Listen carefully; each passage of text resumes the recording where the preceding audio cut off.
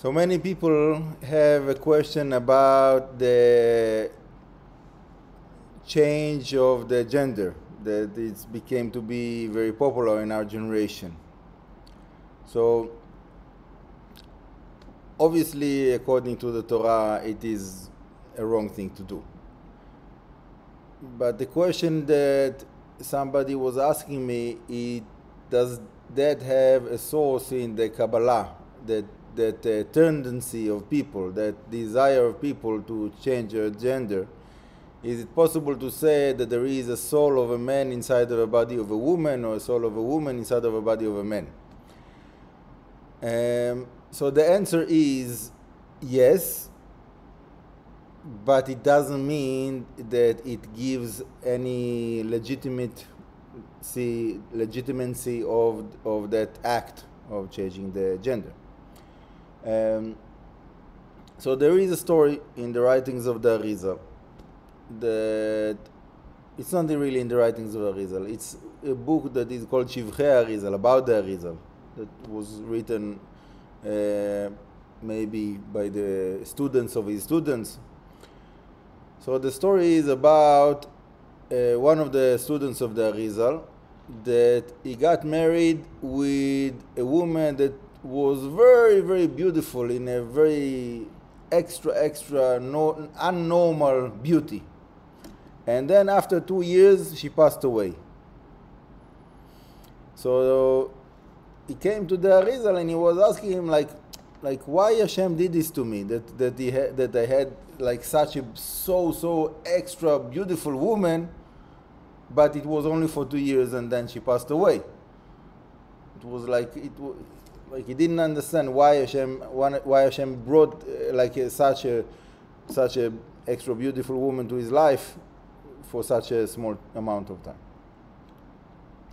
So the Arizal told him something very strange that is con- connected to this question.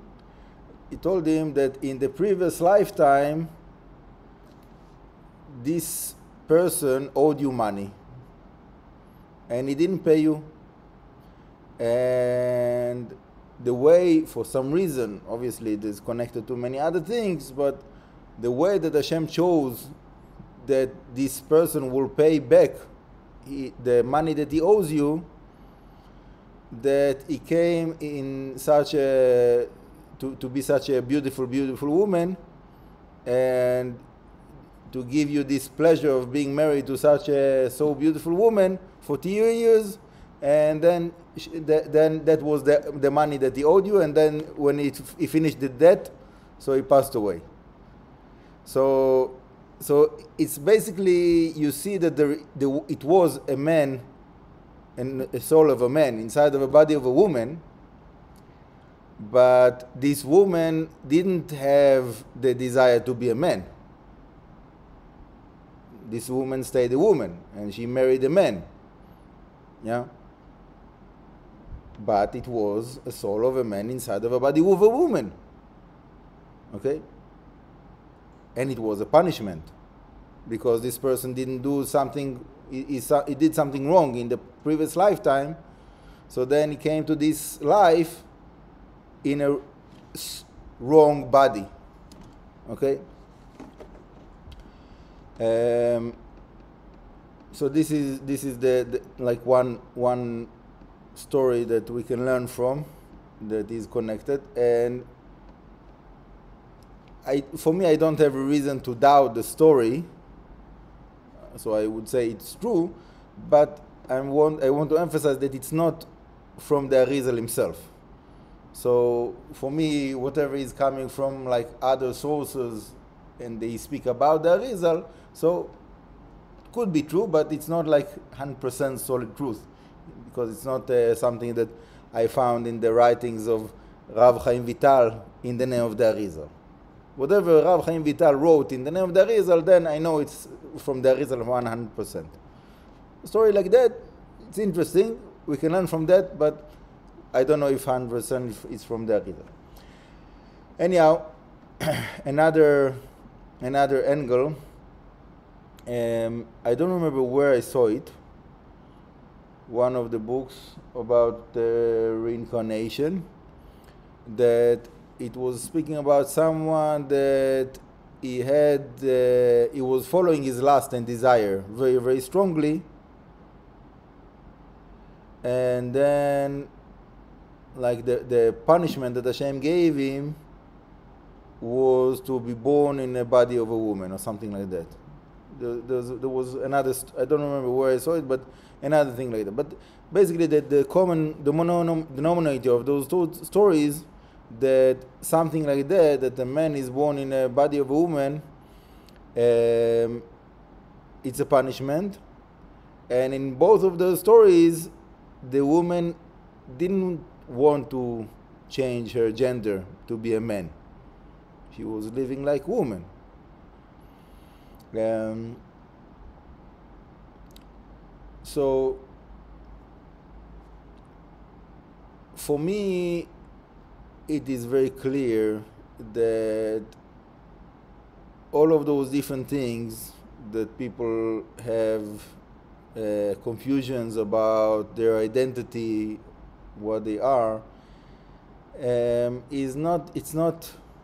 The point is not. Um,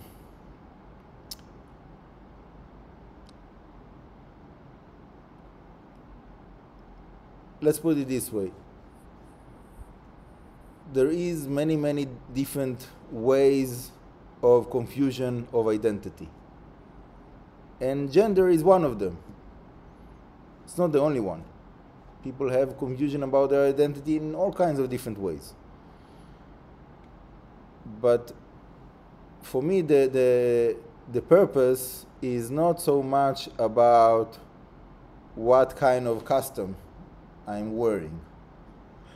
Yeah, the, the identity, the question of the identity, it's not about how do I look, how do I uh, play around the world.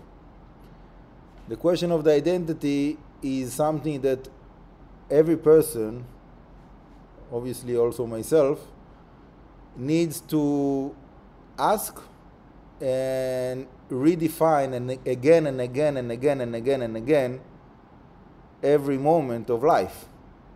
And the way to get to the answer,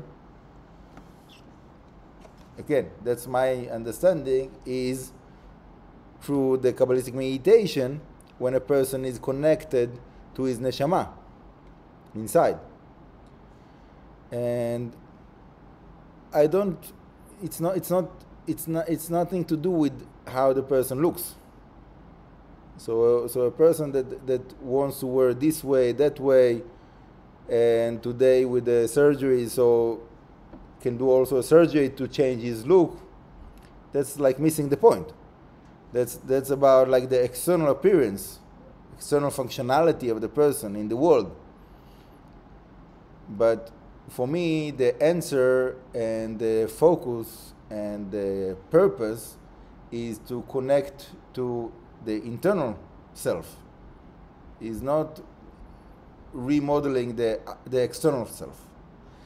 So I believe that when when people are practicing the Kabbalistic meditations and they are connected to their soul, all of the questions of the identity falls down. It, it becomes to be not relevant because it's not, it's not, it's not about that. like that's uh, it's, it's the whole the whole structure of life, the whole priority of life, the whole approach of the person to what he's doing in the world and who is in the world is redefined when a person is connected to his soul. So th- the problem is, is, is not so much about the, the, those surgeries, yes or no. That's not the question.